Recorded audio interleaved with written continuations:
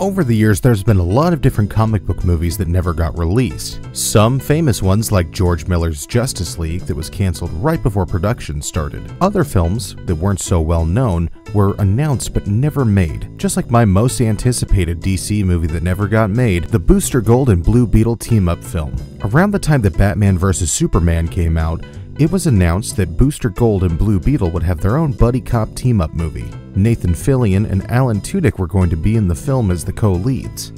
Due to unclear circumstances, that film fell apart, and it never got to see the light of day. What's your favorite comic book film that got announced that never got to see the light of day?